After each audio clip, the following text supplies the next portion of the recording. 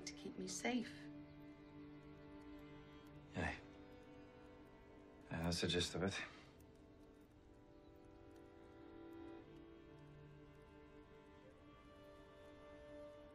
You have my name, my clan, my family.